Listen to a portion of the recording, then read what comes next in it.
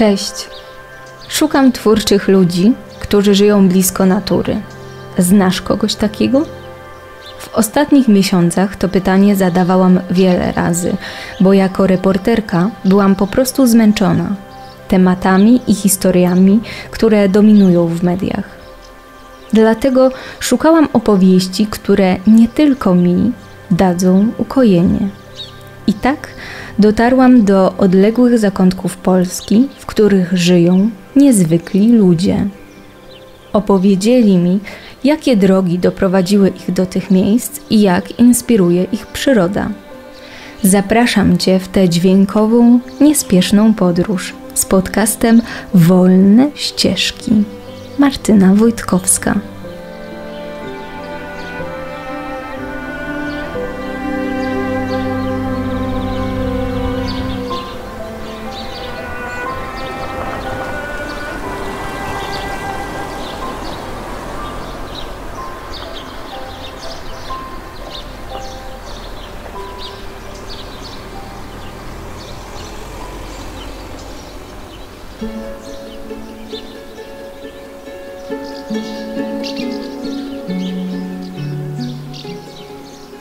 Odcinek siódmy.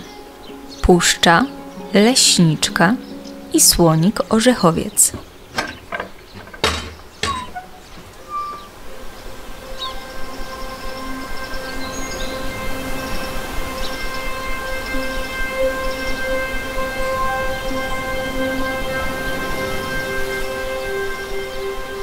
Pralas. Puszcza Białowieska połacie lasu pierwotnego, dzikości, natury w nieustannym cyklu życia i śmierci. Można się bać i się zgubić, ale nie w towarzystwie dobrego przewodnika czy przewodniczki. To jest dom, który bodajże w zeszłym roku skończył 100 lat i był to dawny żydowski sklep dlatego ma te piękne drzwi od ulicy właśnie. E, więc ja się posługuję tutaj tylnym wejściem, a wejście główne jest otwierane tylko właśnie na te okazje, kiedy, kiedy moja pracownia zamienia się w galerię sztuki.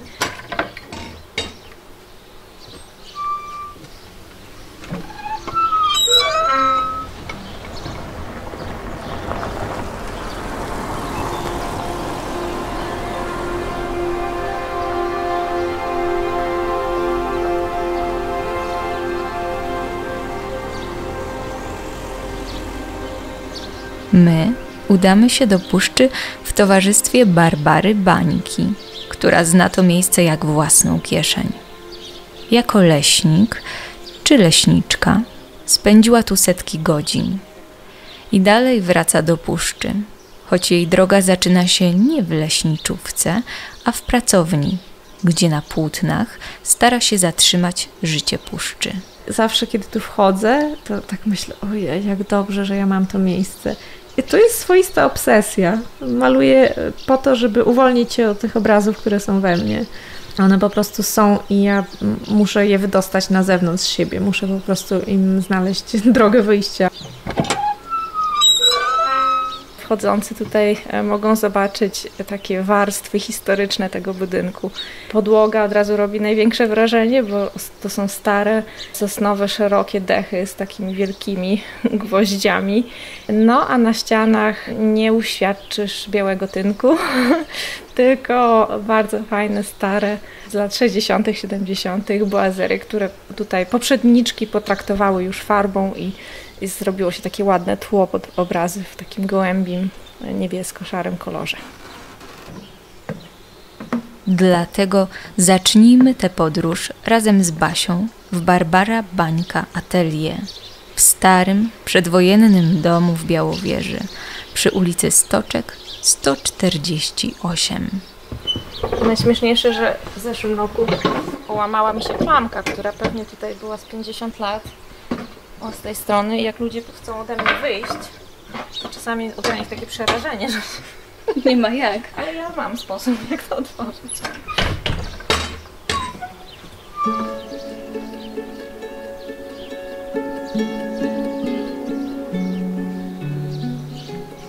Miałam to szczęście, że mi rodzice nigdy nie narzucali, kim miałabym zostać. Byli zawsze ciekawi, co to ze mnie wyrośnie. Mi nikt nie mówił, że będę malować, to ja mówiłam wszystkim, że będę malować. A inni mi mówili, że umiem ładnie rysować, że ładnie maluję, że no tak, tak, ale to na początku wydaje mi się, że to nie chodziło o jakość, tylko bardziej o y, taką obses obsesyjne malowanie, rysowanie. Ja po prostu to uwielbiałam robić i, i w ogóle kiedyś jeszcze jak zaczęłam malować, to myślałam, że bo to takie punkty odniesienia się miało, z których się wyrosło i ja wyrosłam na przykład na albumach e, z obrazami kossaków. No to ja myślałam, że będę malować konie w ogóle i rysowałam straszne, ogromne ilości koni. Miałam taki album ze zdjęciami pana Gadzalskiego i po prostu tam każde zdjęcie konia, to ja miałam ileś wersji ilustracji tego konia w tym ujęciu. To ile miałeś wtedy lat? Sześć.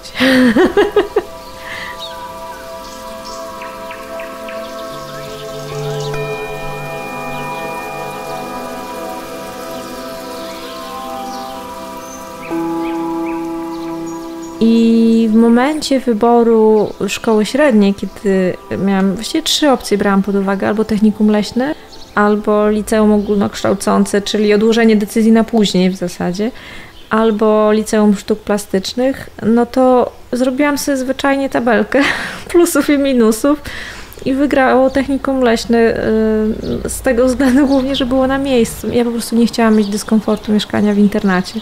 Po mhm. prostu bardzo nie chciałam. Chciałam być tutaj. I uznałam, że e, do rysowania i malowania e, od, od, tego mnie nikt nie odwiedzie. To było za silne. tak, w tamtym momencie uważałam, że muszę się ustawić zawodowo po prostu, że, żeby mieć pracę, żeby móc zarabiać. Chciałam się zabezpieczyć, że nie będę pracować w żadnym biurze i nie będę musiała nigdy mieszkać w mieście. I zawód leśnika był takim idealnym kompromisem, jak się wyzwolić z tych takiego kieratu jakiegoś korporacyjnego, czy, czy prac, których bym nie chciała robić.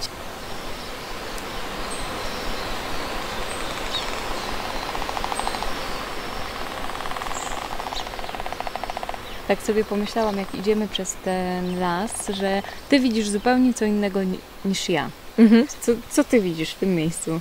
Hmm. Ja dużo rzeczy widzę. widzę gatunki drzew, że to jest lipa, a tutaj rośnie klon i na klonie zawsze są takie piękne, piękne mchy. Widzę na przykład, że ten mech jest od strony południowej, a nie północnej, co jest często tak ludzie pytają. Od której strony rośnie mek, czy to prawda od północy? Nieprawda. Rośnie od przeciwnej strony do nachylenia drzewa i akurat klon się wychylił na północ, mek rośnie na południu. Tak ma. Mój tata mnie wprowadził w ten świat, bo mój tata pracował tu w Białowieży, zaraz po przyjeździe właściwie, kilka lat po przyjeździe znalazł pracę e, w Białowieskim Parku Narodowym i pracował w obszarze ochrony ścisłej Białowieskiego Parku Narodowego, czyli tym sercu przyrodniczym Puszczy Białowieskiej, gdzie las jest praktycznie nie, nietknięty prawie, że mhm. ręką ludzką, gdzie jest najbardziej dziki, jakie można w ogóle znaleźć w całej Europie, więc to jest w ogóle no, perełka przyrodnicza na skalę europejską. I on codziennie tam chodził do pracy, no i czasami mi ze sobą zabierał, więc moje wycieczki do puszczy to w ogóle jest nie z tej ziemi wspomnienie, bo to były wycieczki do najbardziej przyrodniczo cennego lasu w Europie. No ale ty jako małe dziecko byłaś w stanie docenić ten skarb? Tak, bo... mój tata bardzo o to zadbał, żebym ja dokładnie wiedziała, gdzie jestem i o co w tym chodzi. chodzi i opowiadał mi bardzo dużo, w zasadzie zadawał mi zagadki przyrodnicze, musiałam zgadywać skąd się coś wzięło i co czym jest. Znajdował ciekawe rzeczy i prowadził mnie, żeby mi e, je pokazać. Opowiadał historie, jakie go spotykały w lesie, o zwierzętach, spotkania z wilkami, z e, walącymi się drzewami za jego plecami, albo kiedyś znalazł martwego warchlaka, czyli małego dzika i mnie i mojego brata zabrał e, w śnieżycę, żeby nam po prostu pokazać, pokazać jak martwy dzik wygląda i pamiętam, no, że to robi wrażenie takie, że nawet takie zetknięcie z martwym zwierzęciem zupełnie w inny sposób niż, niż, niż w sposób przypadkowy, tylko to była taka świadoma wycieczka, żeby to zobaczyć. No ale to brutalna sytuacja, pokazywać małemu dziecku martwe zwierzę. To ale... nie było traumatyczne? Nie, absolutnie. W ogóle to jest coś, co To jest w ogóle bardzo ciekawy temat, bo moim zdaniem kontakt z prawdziwą dziką przyrodą, niezachwianą, taką właśnie nie, nie zepsutą przez człowieka, daje możliwość poznawania w ogóle świata bez takiego. Mm, filtra e, rozstrzygania, czy coś jest dobre, czy złe, czy. No bo właśnie my, my właściwie oceniamy rzeczywistość cały czas wokół siebie na zasadzie odniesienia do pewnych korzyści. Mhm. Wyobrażamy sobie na przykład, że e, mamy osiągnąć jakiś cel, jakąś korzyść i coś, co staje nam na przeszkodzie, jest e, jakieś złe, jest szkodliwe, jest szkodnikiem. A w naturalnym lesie jest życie, jest śmierć, jest e, śmierć celowa, e, jest śmierć przypadkowa i one się cały czas po prostu dzieją. I jeżeli dziecko jest jak taka czysta karta, jeżeli ma kontakt z tym i ma możliwość zobaczenia tego bez oceniania, czy to jest złe, czy dobre, to przyjmuje to po prostu dokładnie tak, jakim to jest.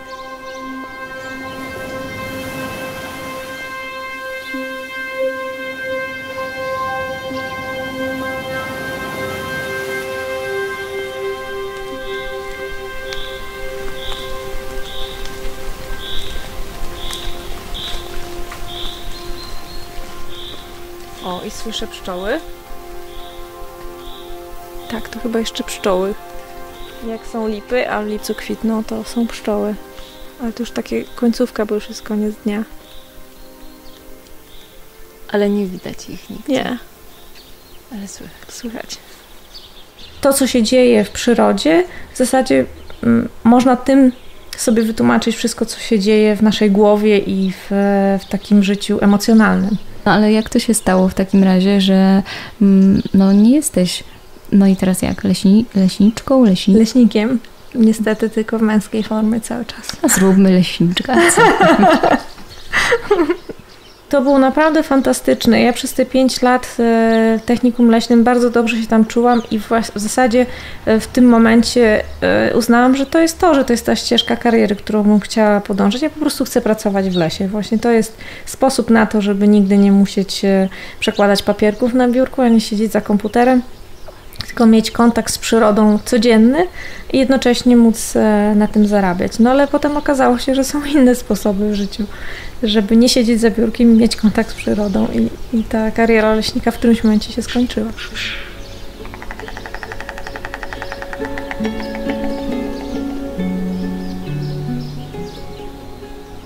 Zupełnie nie odpowiadał mi taki tryb pracy hierarchiczny, gdzie ja jako ówczesny podleśniczy, czyli powiedzmy ten, ten najniższy szczebel, e, najniższy terenowy który pracował w tej administracji lasów państwowych, po prostu musiałam wykonywać polecenia narzucone mi przez takie piętra hierarchiczne, czyli to, co mi powiedział leśniczy, to, co on usłyszał od nadleśniczego, nadleśniczego, regionalnego dyrektora, regionalny od generalnego i ta, ta cała hierarchia jest bardzo konieczna, żeby to w ogóle mogło funkcjonować, ale po prostu w moim odczuciu ja, ja nie umiałam się odnaleźć w tej hierarchii.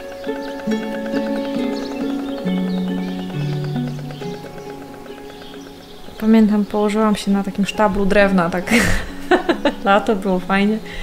I tak pomyślałam sobie, kurczę, być w tym lesie i nie musieć w nim być. To też jest fajne, że, że tak w sensie tym właśnie pracowym, że, mhm. żeby móc pójść do lasu i nie musieć w nim nic zrobić, kto, co ktoś mi kazał. No widzisz, to jest ciągle taka, takie manewrowanie, jak tu być, być sobą, być w lesie, być w kontakcie z przyrodą. Nie? Co to za drzewo? Takie właśnie akuratne. akuratne, dlaczego? Bo jest nie tylko duże, że je widać, ale ono ma to coś w sobie i to pęknięcie i ten, ta czern pęknięcia. O, ojej, to się tak pięknie maluje po prostu. I ma te wszystkie guzy i mchy i jeszcze takie różne ułożenie kory tutaj pod jednym kątem, a tam bardziej gładko i tu zawinięte. Po prostu jest takie zachęcające, żeby to złapać. Wtedy malowałaś też równolegle? I wtedy e, w zasadzie nie malowałam jeszcze tak, e, mm, tak super profesjonalnie, ale już powstawały moje pierwsze obrazy i ilustro, ilustrowałam, już robiłam ilustracje przyrodnicze, więc sobie tak na boku już zaczęłam zarabiać, ale jeszcze nie, nie myślałam wtedy, że to będzie e, taki przeskok, ale w którymś momencie po prostu zaczęłam się rozglądać dookoła, co ja właściwie mogłabym takiego robić, żeby że pomyślałam sobie tak, jeżeli nie, leści, nie leśnictwo, to co? Czyli I... pojawiły, powi, pojawił się moment w Twoim życiu, tak. że po prostu masz dwie dróżki i tak, chcesz tak. wybrać. Tylko, mhm. że wtedy jeszcze nie wiedziałam właśnie, która to będzie ta druga droga. Czy to będzie malarstwo, czy to będzie ilustracja. Przez pewien czas bardzo intensywnie myślałam, że to będzie fotografia.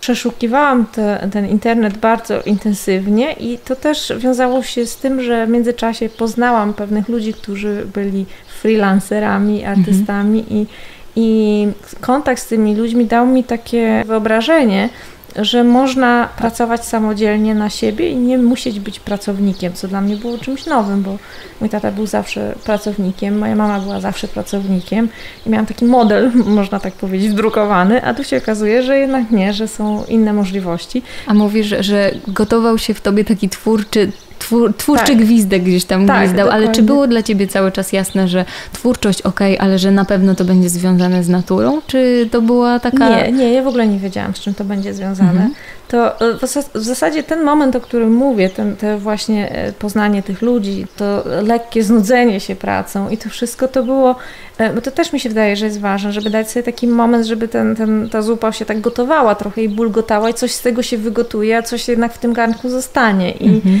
jak, jak to wszystko się tak gotowało, gotowało, to nagle dostałam propozycję nie do odrzucenia, no bo to, to już było wyraźny awans, no to po prostu nie mogłam się nie zgodzić i trafiłam do pracy za biurkiem, ale bardzo szybko zorientowałam się, że jednak jest tak, jak myślałam. Praca za biurkiem i za komputerem i, i nie, dokumenty, nie, nie, nie, nie.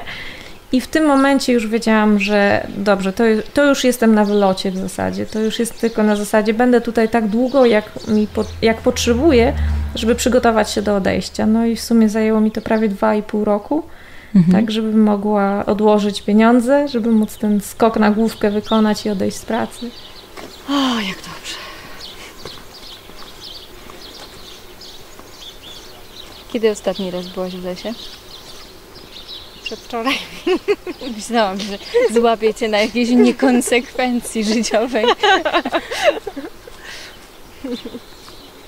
Ale tego jest nigdy dość, naprawdę, to jest nigdy dość. Starasz się wybierać takie pory, żeby innych nie było, takie ścieżki, jak to jest? Jak, tak, takie kiedy miejsca, żeby innych nie było. Czyli masz swoje tajemnicze ścieżki? Oczywiście, pewnie. Całe obszary. No, takie, takie moje miejsca to chyba każdy ma jakieś tam swoje miejsce. Mam ja.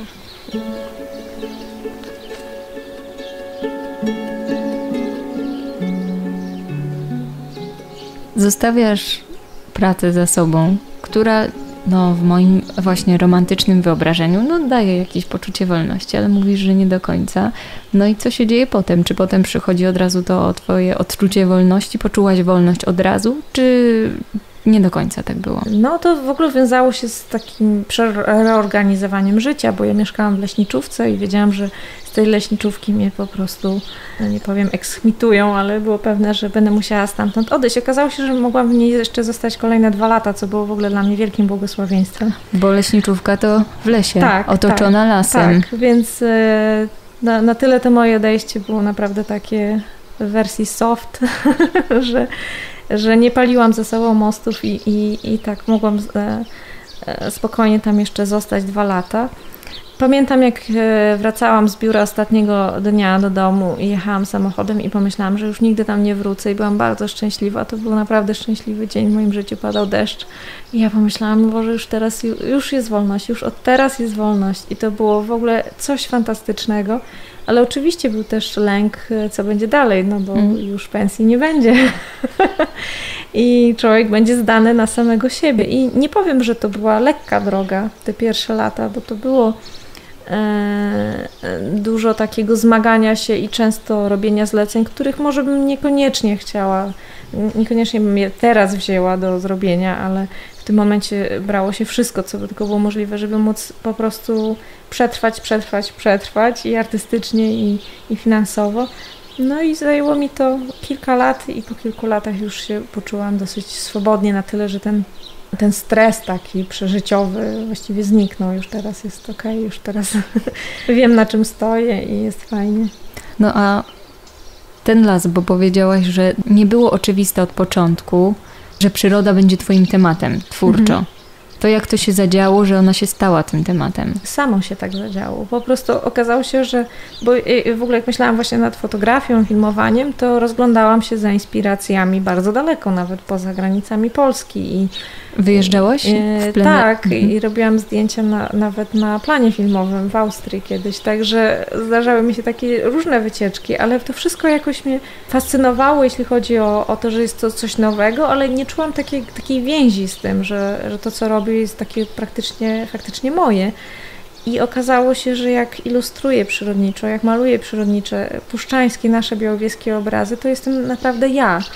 Mhm. I, I w zasadzie ja nawet nie wiem, kiedy to się tak stało, że, że już przestałam myśleć o, o jeżdżeniu za granicę i robieniu zdjęć na planie filmowym. Po prostu przestało to być dla mnie atrakcyjne, bo to, co mnie fascynuje, to to, żeby usiąść do sztalów i malować puszczę. I to mnie po prostu uszczęśliwia.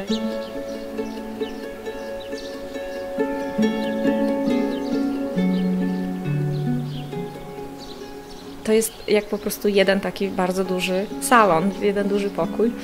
No i e, jak tylko wchodzący tutaj się zanurzają w tę przestrzeń, to wchodzą do sekcji ilustracji. No i ta, ta sekcja jest taka bardzo jasna i przejrzysta, bo to są ilustracje organizmów żyjących w Puszczy Białowieskiej, roślin, owadów, ptaków, e, grzybów czasami. W tej chwili akurat nie mam grzybków, ale też czasami się pojawiają. E, robię też ilustracje pojedynczych drzew, tak jak te tutaj akurat ostatnio. Wróciłam do techniki, którą nie tworzyłam od wielu lat, czyli do rysowania węglem. E, I powstała właśnie ta seria ośnieżonych pni drzew.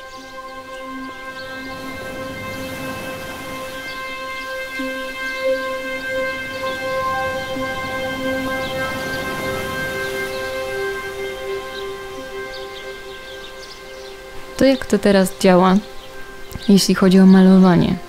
To się dzieje na, na wiele różnych sposobów. Często jest tak, że jakiś pomysł gdzieś tam mi się rodzi w lesie i ja go długo noszę w sobie on, on dojrzewa. On nie, nie powstaje z tego obraz nieraz przez wiele lat. Innym razem e, idę do lasu w poszukiwaniu inspiracji. To jest trochę ryzykowne, bo czasami narzucenie sobie, że idę szukać inspiracji, powoduje jakieś takie zadaniowe myślenie i taki przykurcz emocjonalny.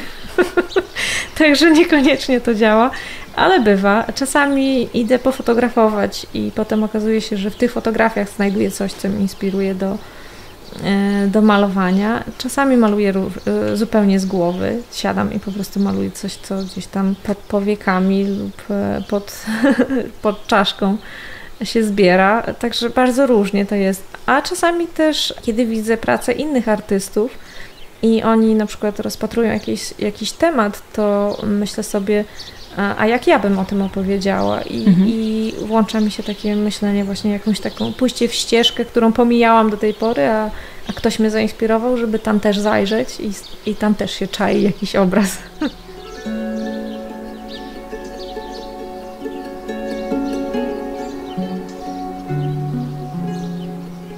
co tutaj widzisz? Tu się schylamy. Biegacz. Biegacz. Nie wiem niestety jaki gatunek, ale biegacz. Biegacz biega. O, potrafi szybko biegać. Ma długie nogi. O, powoli, powoli. No idź, biegaj.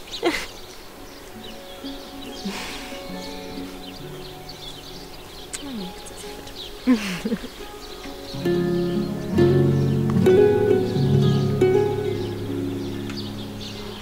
No i ta przyroda też jest piękna brzmieniowo. I nie mówię tu o tym wcale, jak brzmią te wszystkie ptaszki, ale jak się nazywają e, twoi bohaterowie twoich rysunków, na przykład ilustracji. Na przykład, no to weźmy, co tu mamy akurat pod bokiem. Mhm. E, tam nadrukowana jest ilustracja, to już nie oryginał, oryginał poszedł w świat, że tak powiem. To był słonik orzechowiec.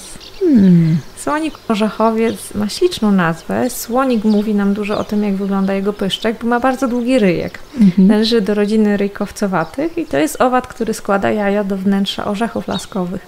Także prawie każdy z nas prawdopodobnie widział słonika orzechowca w swoim życiu, tylko w postaci larwy. A sam owad dorosły ma właśnie długi, długi ryjek jest bardzo urokliwy.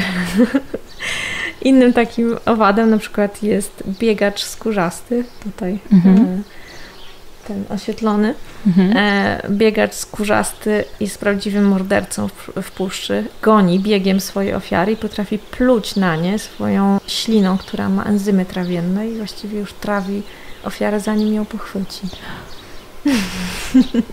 No, to jest imponująca umiejętność. W ogóle e, staram się też tak, e, kiedy ilustruję pewne gatunki, to czuję w tym pewną misję i nie ukrywam tego, że chciałabym, żeby ludzie troszeczkę zainteresowali się tym małym światem przyrodniczym e, w puszczy, tymi małymi organizmami. I kiedy powstaje jakaś ilustracja, wychodzi spod mojej ręki, to bardzo często ją wrzucam na tak zwane portale społecznościowe właśnie z opisem i historiami na, na ich temat, bo myślę, że to są takie ciekawe wszechświaty wręcz, które się dzieją w, gdzieś tam gąszczu puszczy.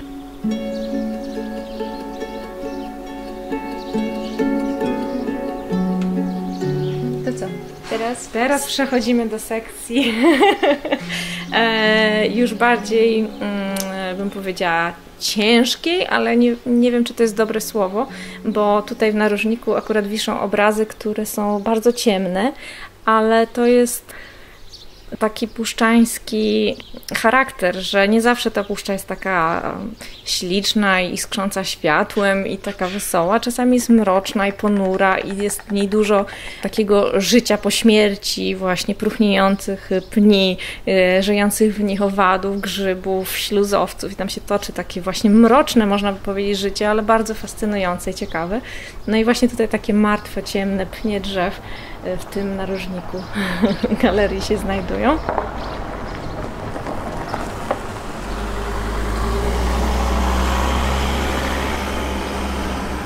Obserwujesz puszczę już od wielu lat i powiedz, czy ty widzisz na własne oczy, jak ona się zmienia? Tak, bardzo. I to jest bardzo duży plus starzenia się, no, bym powiedziała dojrzewania. Jeśli coś lubię w procesie tego e, dojrzewania, to to, że pozwala patrzeć na las w dużej perspektywie czasowej. To jest coś, czego e, ani dziecko nie jest w stanie zauważyć, ani nastolatek nie tak bardzo, no ale w wieku lat 30 paru, no to się już naprawdę zna miejsca, niektóre.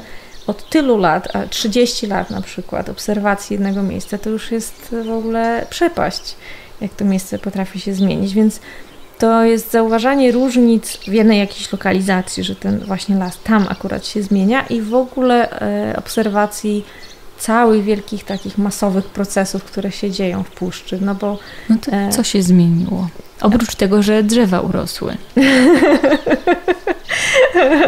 ten, to, że drzewa urosły, to widać, ale to jednak jest ten najpowolniejszy proces. Najbardziej e, takie znaczące i dramatyczne zmiany to jest e, tak naprawdę śmierć drzew. Puszczy Białowieskiej mamy bardzo dużo świerka jako gatunku, który niestety cierpi bardzo od braku wody i zbyt wysokich temperatur, bo to jest gatunek który lubi długie i mroźne zimy, a takich ostatnio nie ma, no i po prostu jest bardzo osłabiony, a jak jest osłabiony, to taki owad jak korni drukarz e, szaleje i po prostu uśmierca te świerki, więc jest takim katem, można powiedzieć, świerków, które są osłabione, no i te świerki umierają masowo w tej chwili w puszczy. W niektórych fragmentach lasu świerk obumarł zupełnie i przez chwilę był to taki mroczny, mroczny, dramatyczny wręcz las, a już minęło 3 lata od tego momentu, kiedy umarło tych świerków jak no, najwięcej. I już tam piękne życie się toczy i piękne młode pokolenie drzew dosłownie pochłania martwe cielska świerków, które gdzieś tam już zaczynają się rozkładać i przewracać. I to wszystko się naprawdę dzieje tak szybko. Taka właśnie dramatyczna zmiana i ja już myślę, jak to będzie wyglądało za 10 lat, czy za 15, czy za 30 jeśli uda mi się zobaczyć jeszcze, to będzie bardzo ciekawe. W ogóle to jest ciekawa rzecz, jak sobie nad tym myślę, bo wiele osób bardzo przywiązało się do pewnego wyglądu puszczy, a okazuje się, tak badania pokazują, że ten wygląd puszczy się zmieniał przez e, stulecia i na przykład ta obecność świerka tak licznego to jest ostatnie stulecie tylko, no ale to jest jedno pokolenie ludzi, czyli wszyscy ludzie, którzy teraz widzimy wokół tu w Białowieży, oni wszyscy wyrośli w tym wizerunku puszczy z tego ostatniego stulecia. Mhm. I, I my mamy, my ludzie w ogóle mamy taką tendencję, żeby zachować to, co jest dla nas takim wzorcem wizualnym, czyli jeżeli jesteśmy wychowani właśnie na, w takim lesie i tak go widzimy, to bardzo chcemy, żeby on tak stale wyglądał, bo to jest dla nas taki punkt odniesienia, że to jest dobre, że to jest ok. No a puszcza pokazuje nam, że nie, bo ona będzie się adaptować do zmieniających się warunków i jest to dla nas takim chyba wyzwaniem wręcz emocjonalnym, żeby móc się pogodzić z tym, że no, to nie jest taka stała rzecz, że przyroda się zmienia, a w zasadzie y, tylko wygląd puszczy się zmienia, bo tak naprawdę przyroda jest taka, jaka zawsze była, czyli zawsze popiera pewne procesy, które pomagają jej przetrwać. Mhm. Więc jeżeli warunki się zmieniają, to i puszcza się zmienia. I tak zawsze było, na tym polega cała ewolucja, więc e, my musimy się na to w pewien sposób zgodzić po prostu.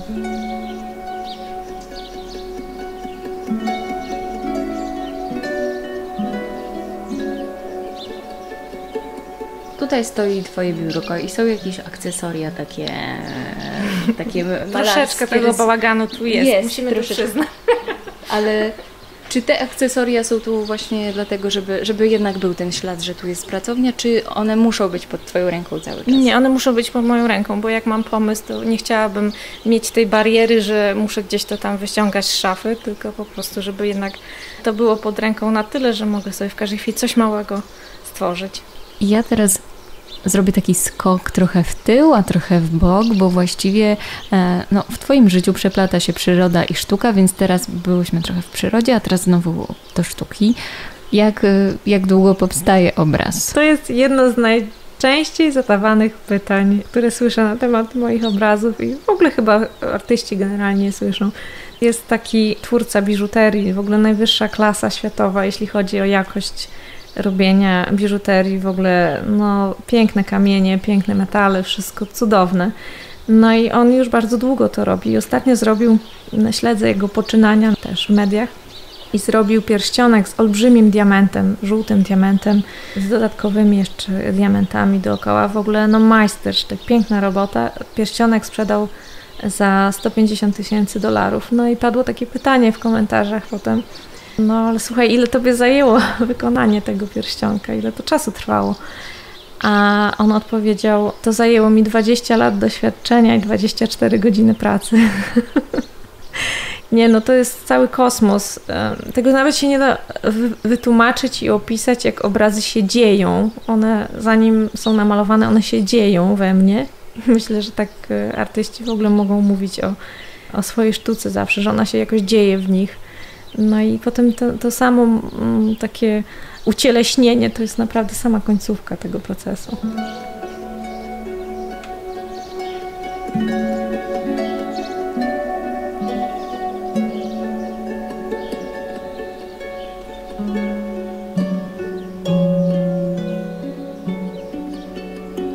A czy na ścianach albo gdziekolwiek są ślady po tym okresie, kiedy ty malujesz tutaj? Czy czasem twoja sztuka wychodzi na przykład na ściany albo coś?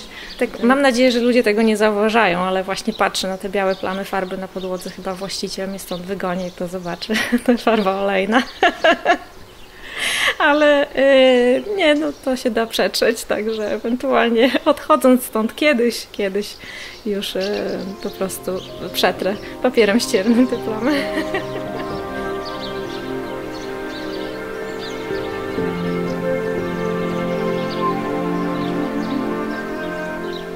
Od początku, kiedy odeszłam z pracy, nie żałowałam ani jednego dnia, że to zrobiłam i nie żałowałam tego, że porzuciłam karierę leśnika. A jedyna rzecz, jakiej mi jest szkoda i za jaką tęsknię, to ten praktyczny przymus wyjazdu do, la do lasu codziennie rano.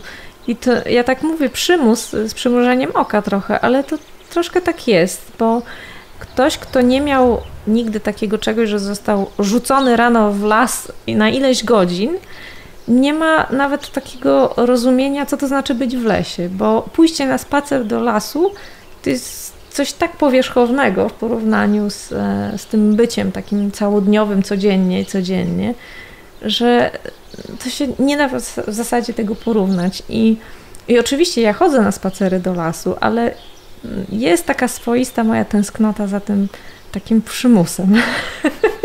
To tajemnicze uczucie, o którym mówisz, bo nigdy nie miałam takiej możliwości, to takiego totalnego zanurzenia. Jak sobie to wyobrazić? Na czym to polega? O czym się wtedy myśli, albo jak się wtedy człowiek czuje, jeśli, jeśli właśnie doświadcza z taką intensywnością przyrody? To jest właśnie ten, ten fajny, tak, takie fajne poczucie, że ten czas jest nieograniczony, że w zasadzie mogę sobie tam być i łazić, i siedzieć, i gapić się, i wąchać, i iść boso, i popływać w jeziorku. I, i to jest takie dane i, i w ogóle nie. Yy, tak jakby nikomu nie muszę się z tego tłumaczyć. To nie jest zadaniowe. O, bo w ogóle e, tak mi się wydaje, że często mamy kontakt z przyrodą dość zadaniowy. Na przykład pojadę rowerem z albo przejdę szlakiem hmm, hmm, hmm, i wrócę o godzinie. No a tak No tak, albo po prostu jest sobota, pojadę tak, do, sobota. mam ograniczony, ograniczony czas. Tak, a jeżeli jest się w lesie codziennie i wiele, wiele, wiele godzin, to po prostu człowiek już jakoś tego nie, nie odnosi w ogóle do rzeczywistości zewnętrznej, tylko po prostu się jest, ale tak naprawdę się jest.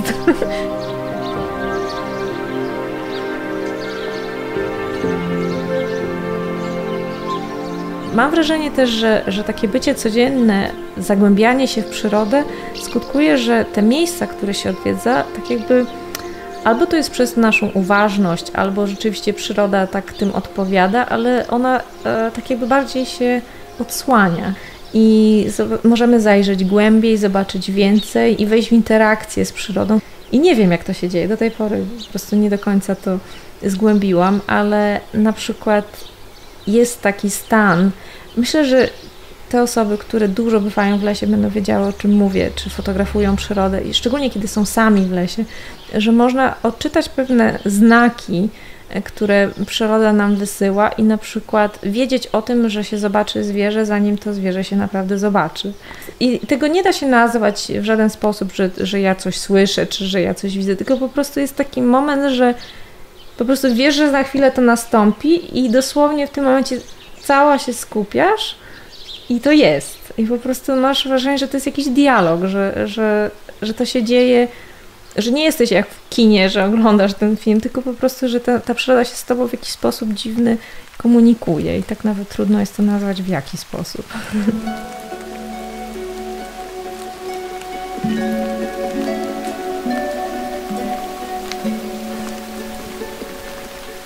No właśnie, a jak ty wędrujesz z ludźmi, do rezerwatu ścisłego i masz świadomość, że to, jest, no, to są te trzy godziny, w których jesteś w stanie im coś zaszczepić z tej swojej mhm. miłości, to, to jak im otwierasz te głowy?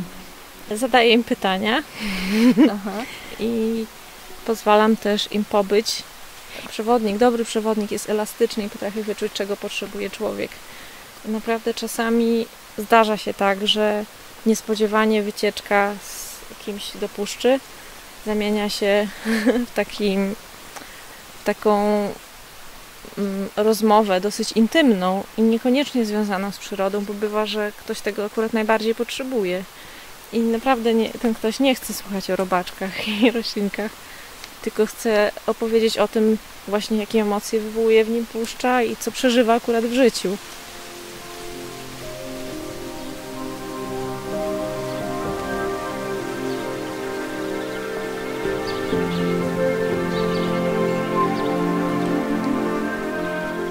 Sztuka jako proces twórczy, ale też i przebywanie w przyrodzie mm, no, są takimi źródłami, takimi, no, że, że może, możesz z nich czerpać poczucie spokoju. Co Ciebie uspokaja? Czy żeby się uspokoić idziesz do lasu, czy żeby się uspokoić malujesz?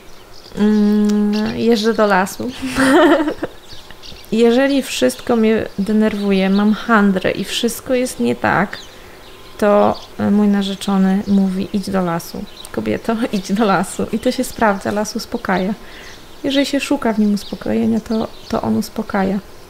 Ale też bardzo się uspokajam tutaj u siebie w atelier, kiedy drzwi są zamknięte, kiedy rysuję, kiedy szkicuję, kiedy maluję. To jest ten mój czas i czuję się tak bardzo sobą wtedy, tak bardzo mocno, głęboko sobą. I czasami oczywiście jestem zmęczona na koniec dnia, kiedy powstaje jakiś duży obraz, to ja naprawdę jestem zmęczona, nawet fizycznie to jest męczące. Mhm.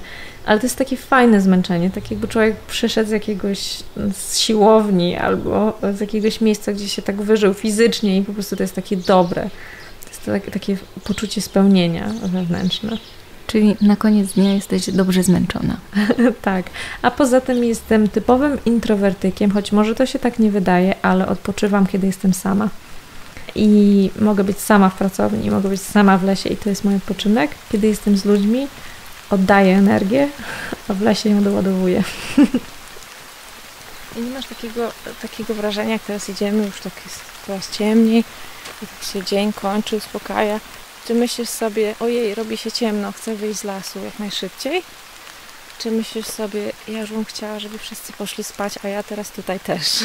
Pomyślałam, że e, żebym sobie tak zasypiała z tym miejscem razem, że robi się coraz ciemniej i to kojarzy mi się z takimi powiekami, które się zamykają powoli i że ja tak powoli sobie I jest tutaj dobrze. Też no dobrze właśnie, jest, to jest to fajne uczucie. To znaczy, że wtedy jesteś takim połączeniu z miejscem, że nie odrzucasz go jako jakiegoś miejsca niebezpiecznego, tylko przyjmujesz, że to jest, to jest okej. Okay.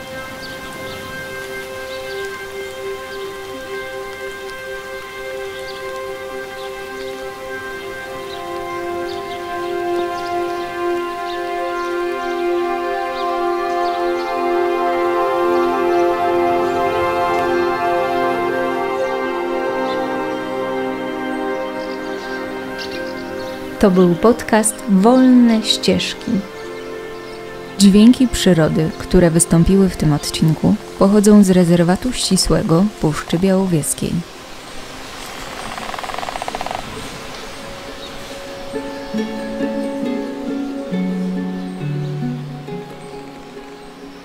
Montaż Justyna Goc. Opieka nad realizacją dźwiękową Janusz Deblesen.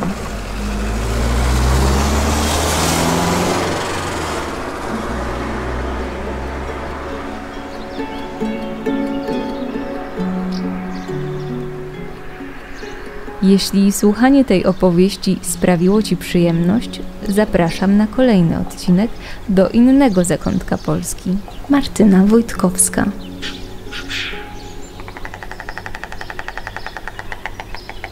Pomyśl też o tych, którzy nie wiedzą jeszcze, czym są podcasty. Może warto zaprosić ich do wspólnego słuchania?